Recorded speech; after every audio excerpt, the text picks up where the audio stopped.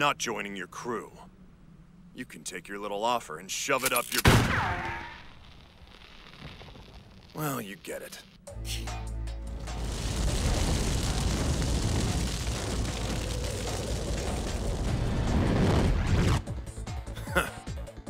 Looks like you need to teach your crew some manners, Captain. Fire gun! Well, you get it.